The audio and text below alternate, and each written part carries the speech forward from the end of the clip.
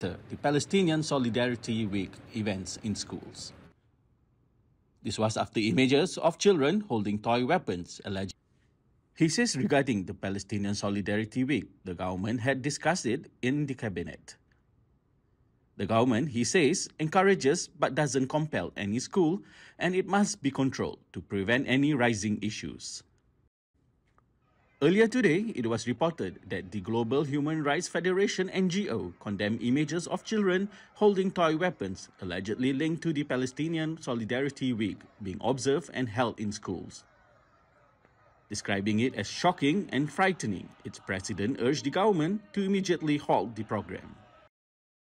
A group of NGOs has urged the Education Ministry and the government to keep international conflicts, religious disputes, and war cries out of schools and educational institutions.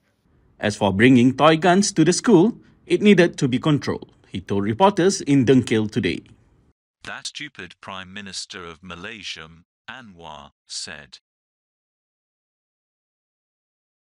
In a statement, the group said that they are looking at the seriousness of dragging school children into becoming part of the global, adult world of protest and not subject young minds to getting embroiled in this Middle East crisis.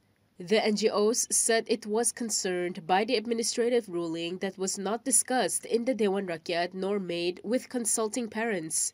In the circular cited by Malaysiakini, a notice from the Office of Education Ministry Deputy Permanent Secretary Azman Ahmad has instructed for the Solidarity Week to be held from October 29th to November 3rd and suggested six proposed activities to be carried out in all schools.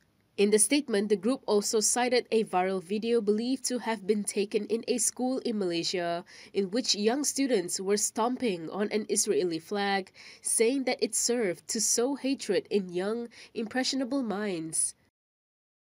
Several NGOs and other sensible people who have made the clarity of telling and criticizing the Malaysian government, where Prime Minister Anwar and his and his Madani government, especially here, in this case, where it is acting as dumb as a rock.